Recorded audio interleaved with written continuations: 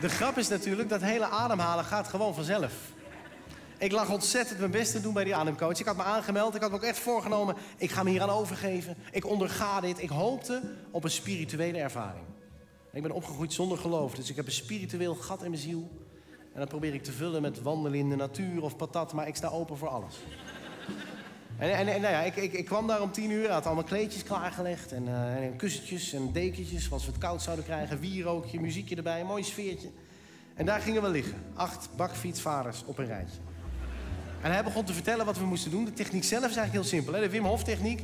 Nou ja, je, moet, je moet je buik gewoon laten vollopen met lucht. Gewoon helemaal zo, helemaal vol. Hij vroeg ook, zit je vol met lucht? Ik zei, ja man, ik zit helemaal vol met lucht.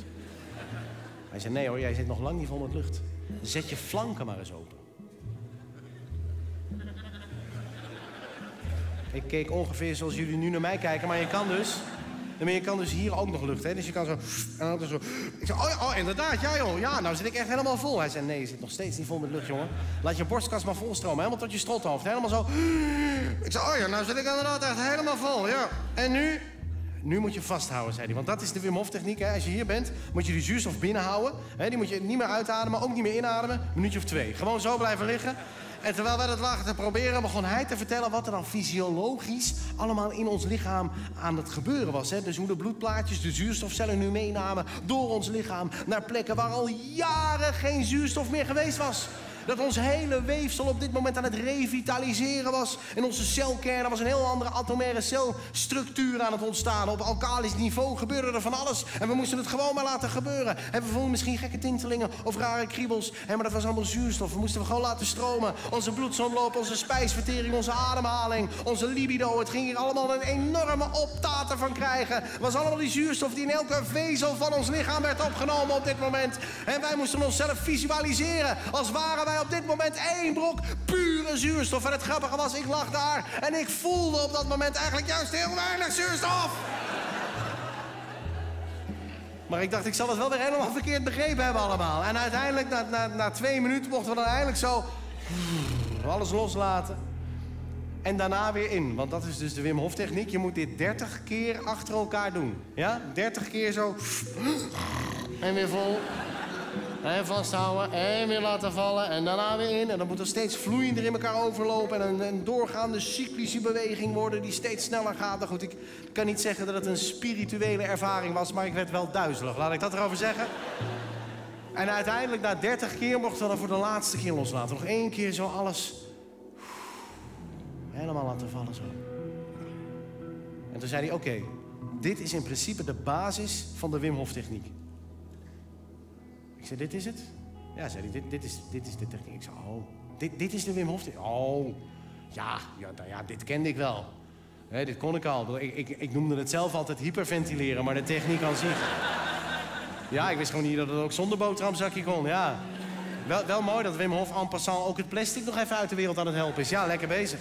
En toen kwam het moment waar hij zich duidelijk het meest op had verheugd. Hij had een badkuip meegenomen, zijn oude badkuip op pootjes, op een aanhangertje naar de camping gereden. Had hij daar neergezet, vrieskistje ernaast, heel lang verlengsnoer naar de kantine van de camping. En in dat vrieskistje had hij allemaal van die plastic zakken met ijsklontjes. Die kwamen eruit, die begonnen hij open te scheuren en in die badkuip leeg te storten. En, en, en die andere vaders begonnen zich meteen uit te kleden, want die wisten al wat de bedoeling was. En ik wist natuurlijk ook wat de bedoeling was. Maar ik voelde ook een beetje spanning. Ik, ik zag die bak, ik denk oké, het ijsbad. Op zich wist ik wat ik moest doen. Ik had de hele techniek net geleerd. Het enige wat ik gewoon nog steeds net niet helemaal begreep, was waarom. ik kon geen enkele reden verzinnen waarom ik in mijn blote reet in een bak ijsklontjes zou gaan zitten. Het is namelijk fucking koud. Het is 0 graden. Het is echt heel koud. Ik deed mijn vinger erin. Ik had een hele koude vinger. Het is gewoon heel koud water. Mijn hele lichaam zei op dat moment tegen mij: Doe maar niet, joh. Dat was wat mijn lichaam heel duidelijk uitstraalde. En hij zag dat, dus hij zei: Nee, maar dit is juist waar je doorheen ademt. En kijk, jouw lichaam wil je tegenhouden. Dat zijn reflexen. En die proberen tegen jou te zeggen: Het kan niet, het is te koud. Ik zei: Nou, misschien hebben we reflexen daar een punt. Misschien even met ze praten. Hè? Want die reflexen heb ik ook niet voor niks. Die zijn het gevolg van duizenden jaren menselijke evolutie. Die zijn er om te voorkomen dat ik domme dingen doe. Weet je waar alle mensen zijn zonder die reflexen? Dood. Dat lijkt me wel een teken, ja toch? Eigenlijk, als je er zo naar gaat kijken, is het, is het heel gek dat er überhaupt nog mensen zijn die graag in het ijs gaan liggen. Dat lijkt me nou echt een eigenschap die zichzelf qua evolutie al lang geleden had moeten wegselecteren. Toch, als er duizend jaar geleden iemand in het ijs wilde gaan liggen, nou, die ging dat doen. Nooit meer wat van gehoord verder. Toch, als dadelijk de polkappen smelten, komt hij misschien wel weer tevoorschijn. Maar dat was het verder, ja. Nee, maar dat, nou ja, maar is met meer dingen. Ik, ik vind bijvoorbeeld ook heel raar, ik ben onhandig. Dat, klopt ook niet. Ik, ben on, gewoon, ik laat dingen vallen, of ik, of, of ik struikel ineens, weet je wel. Of ik, of ik sta in de keuken en dan draai ik me om... en dan heb ik met mijn elleboog ineens een kind neergehoekt... dat daar blijkbaar was komen staan. En dan, en dan wil ik er overeind helpen, maar dan had ik nog een keukenmesje vast. Nou, gewoon onhandig. Nou ja, maar ik, ik, nou ja, ik denk dan ook heel vaak, terwijl ik het bloed sta op te dweilen... van ja, maar eigenlijk zou dit toch niet meer moeten kunnen? Je zou toch denken dat alle onhandige mensen in de afgelopen paar duizend jaar... op een gegeven moment wel een keer, weet ik veel, over, over hun eigen poten... in een of andere ravijn zijn gelazerd? Toch? Of met iets scherps hun ogen hebben uitgestoken? Of van een paard zijn gevallen omdat ze de stijgbeugel wilden bijstellen... terwijl ze al in volle galop gingen? Maar we zijn er nog en we zijn met best veel. En we trekken de deur van de koelkast open... en er valt altijd wel een bakje hummus ondersteboven op de keukenvloer. Nou ja, dan is er dus ook een reden dat we er nog zijn. Dat is evolutie, toch? Dan moet er een evolutionair voordeel zijn aan onhandigheid. Iets waardoor je als onhandige mens jezelf juist beter kan uh, voortplanten. Ja, nee, niet al te handig met condooms, dat scheelt misschien wel iets. Het enige, wat ik, het enige wat ik heb kunnen bedenken is dat onhandige mensen misschien ook net iets vaker per ongeluk klaarkomen. dan, dan nou, geef je het wel door natuurlijk. Als je, als je leven al begint met oeps, ja, dan is het gelopen koers. Ja. Maar dan zou het in een mannelijke lijn moeten zitten. Dat is dan het hele. Ik stond naar die bak ijs te kijken. Ik voelde gewoon aan alles. Ik moet hier niet aan beginnen. Niks voor mij. leuk voor mensen die het wel doen. Ik ga er ook niet flauw over doen. Ik snap de kick. Tuurlijk, schaaf. En mensen die het gedaan hebben, die zeggen ook, het voelt daarna zo lekker. Oh, je bent helemaal herboren. En dat, dat kan ik me echt voorstellen. Als je, als je in een bak ijs hebt gezeten en je hebt het helemaal doorgeademd en volgehouden. En je, en je komt er op een gegeven moment dan zo, hè, na een tijd kom je daar weer uit en je, en je stapt zo uit dat water. Ja, man, dat het, ja, dat het gewoon heel lekker is om niet meer in een bak ijs te zitten. Als je een tijdje met je hoofd klem hebt gezeten tussen een liftdeur is het daarna dus op een gegeven moment echt een heel aangename sensatie... om dan zeg maar, ja, niet meer met je hoofd tussen een liftdeur te zitten. Het is ongelooflijk wat er dan allemaal met je gebeurt. De stofjes die dan vrijkomen, dat is ongelooflijk. Ik, ik, voor mij persoonlijk geen reden om elke morgen ergens in een flatgebouw mijn kop even in de lift te steken. Maar als je er een goeroe in wil worden, be my guest, absoluut.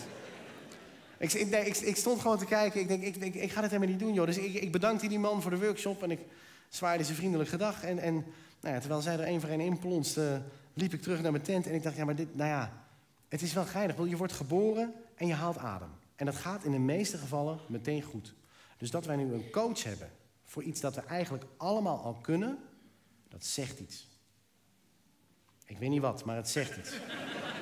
Het is symbolisch. misschien voor de, de allesverterende angst en onzekerheid van mijn generatie. Dat we altijd overal maar bevestiging bij nodig hebben. Weet je? Of, of misschien ook voordat we als mensen altijd maar denken dat wij de natuur een handje moeten helpen.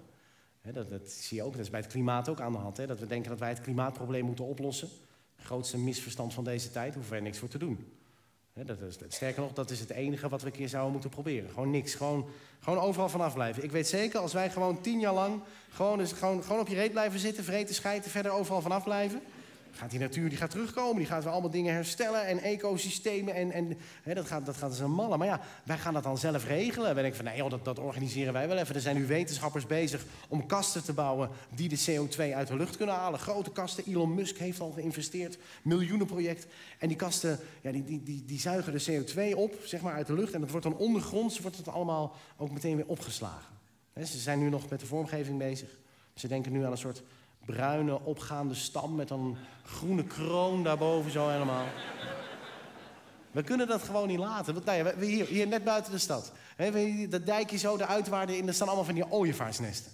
Van die palen met zo'n wagenwiel erop zitten elk jaar ooievaars te broeden. Gaat supergoed. Maar dan las ik een, uh, op een gegeven moment, uh, vorig jaar in de winter was er eentje kapot gegaan. Die was omgewaaid. Uh, helemaal aan gruzelementen, dus vrijwilligers druk bezig geweest in de schuur om een nieuwe te timmeren. En toen kwam het broedseizoen eraan, dus toen gingen ze dat ding in het weiland zetten. En toen las ik een interview in het buurtkrantje met een van die vrijwilligers. En die vertelde dus dat ze haast hadden. Ze waren helemaal in de stress. Dat ding moest zo snel mogelijk overeind staan. Want wat was er aan de hand? Wat hadden ze nou ontdekt? De ooievaars, die dus normaal gesproken op dit nest zaten te broeden, waren al begonnen om in de bomen ernaast zelf een nest te bouwen. Ja. Dat zou een mooie bende worden natuurlijk. eh.